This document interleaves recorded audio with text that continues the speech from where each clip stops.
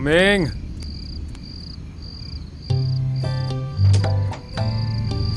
तू इस वक्त ऑल ओके चाय पीनी थी। आ गया। क्यों? तेरे घर पे चाय नहीं थी? चाय थी। दोस्त नहीं था ना?